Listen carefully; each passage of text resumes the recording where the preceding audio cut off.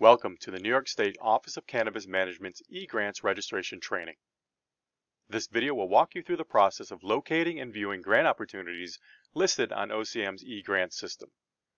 You'll learn how to access the opportunity portal to search for and view details for upcoming OCM grant opportunities and how to sign up to be notified when new grant opportunities are made available. This video will also provide a registration overview which will show the process of registering your organization for the eGrants system in order to prepare your organization to log in and apply for OCM grants.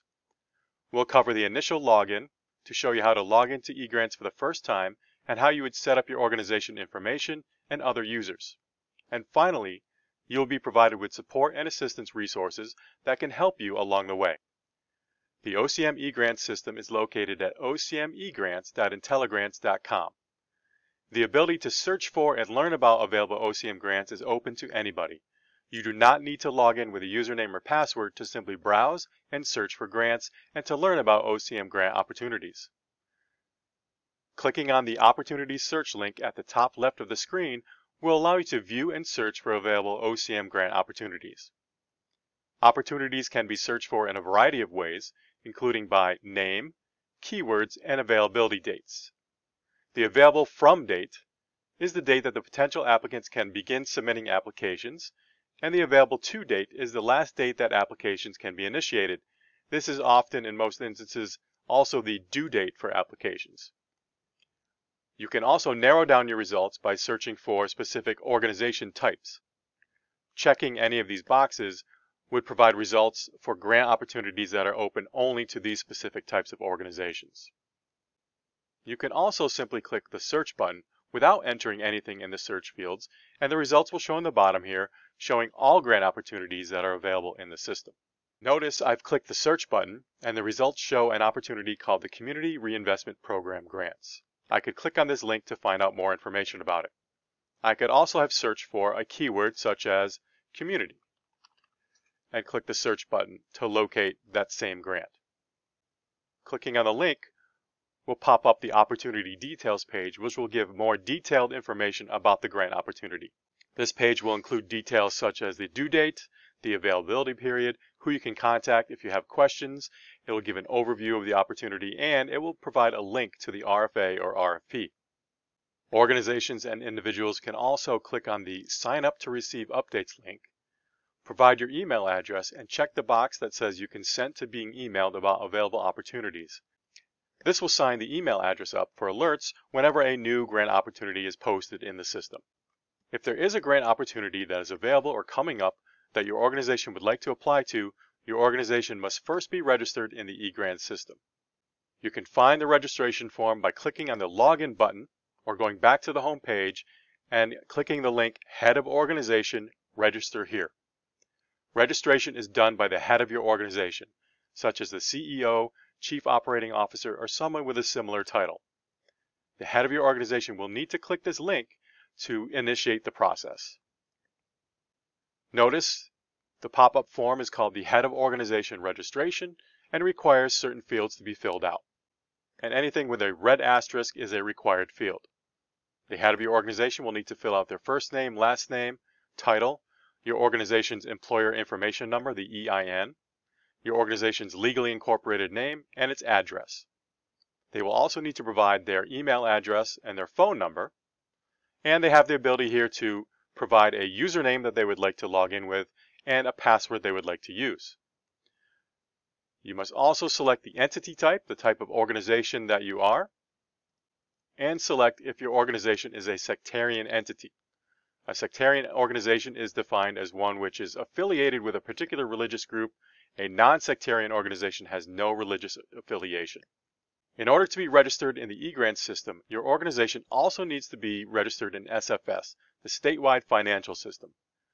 If your organization already has an SFS vendor or supplier ID, you can enter it here. If you don't know the ID, or if you don't have one, you can leave that field blank. Once your registration request has been submitted, the grants management team can research your organization and either locate your SFS vendor ID or provide you with more guidance to walk you through the process of obtaining a new SFS vendor ID. And finally, you will need to select if your organization has previously been registered in the Grants Gateway system. Once the head of your organization fills out this form, they will agree to the attestation here that states that they affirm they are the principal officer, and then they will click the register button.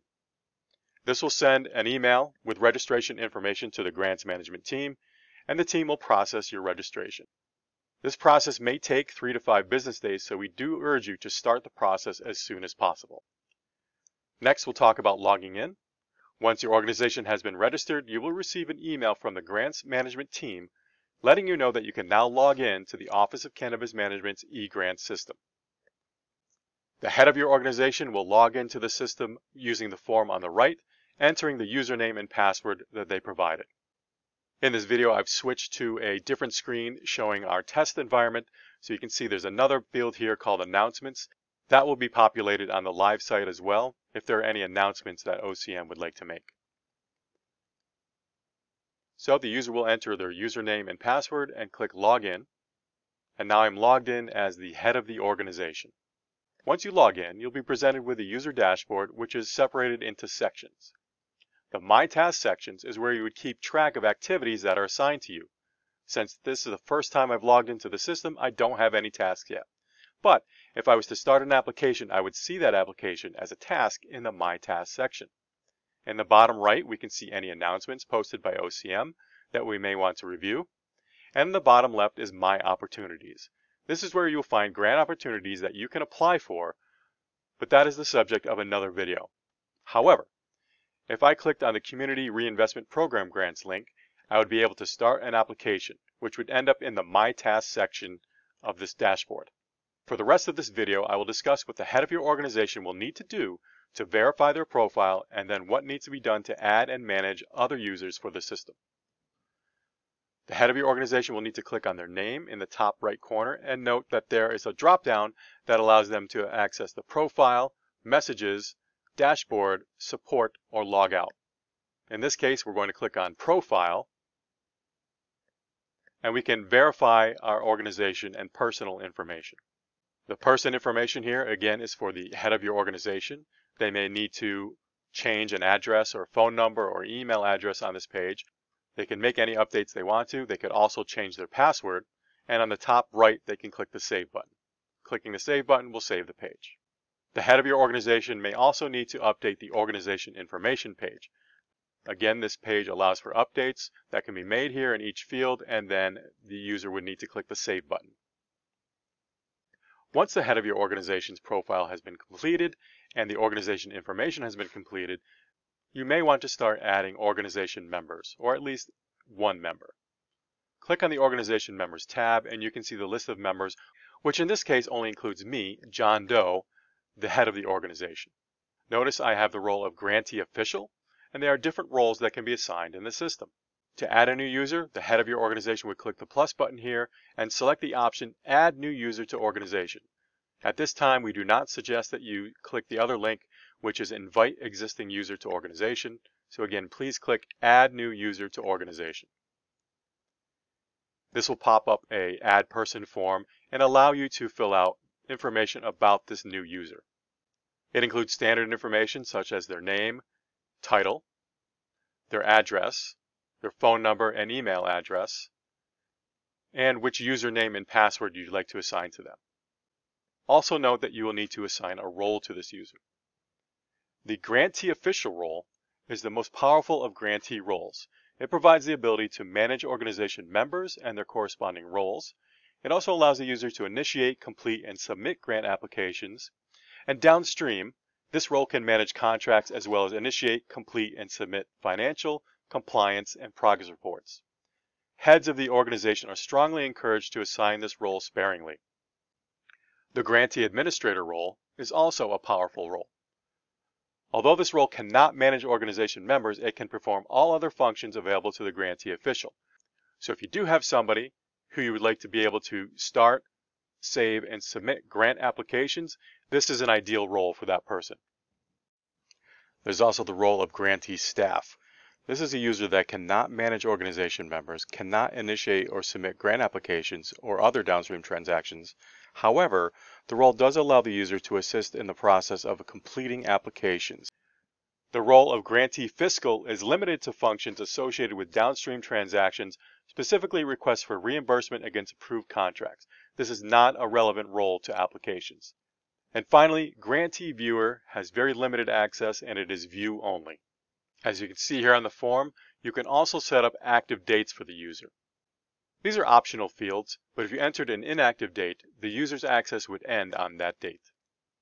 You will set up the user's username and password, confirming that password, and then click the Save button, and the new user will be added to the system. Once the form has been filled out and the user has been added, it's a good idea to contact that user to let them know that they now have an account in the system and what their username and password is. For best practices, it's probably a good idea to do this verbally or to send separate emails with the username and password.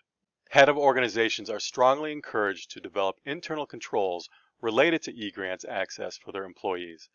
At minimum, these controls should include regularly scheduled reviews of existing access, level of access, and continued need. In the event of staff turnover, retirements, or simply changing organization dynamics, organization members' access and roles can be updated as necessary. Another item that the head of your organization will want to attend to is the additional addresses section. This section has two required addresses that must be entered at some point.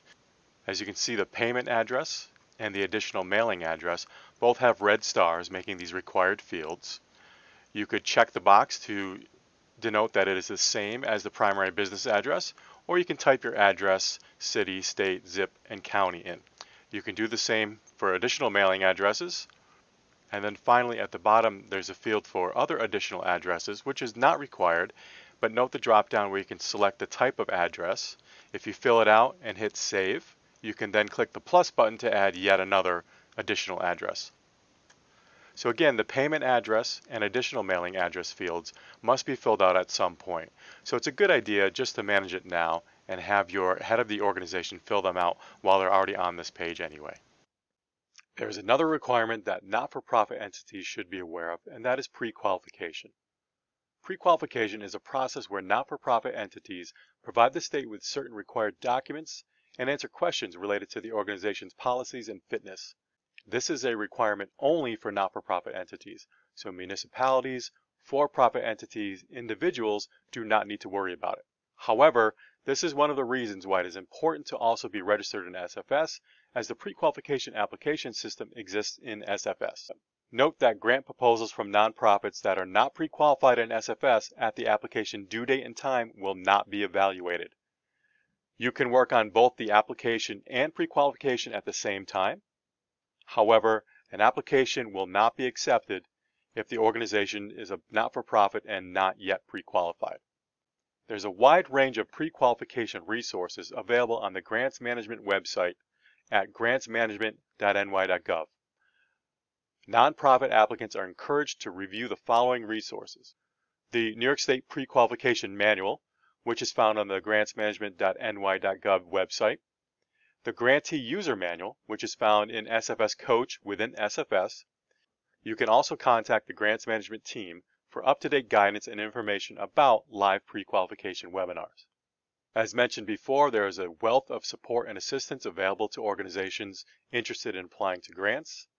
If you require assistance regarding registration, all OCM grants system registration questions should be directed to ITS Grants Management at grantsmanagement at its.ny.gov.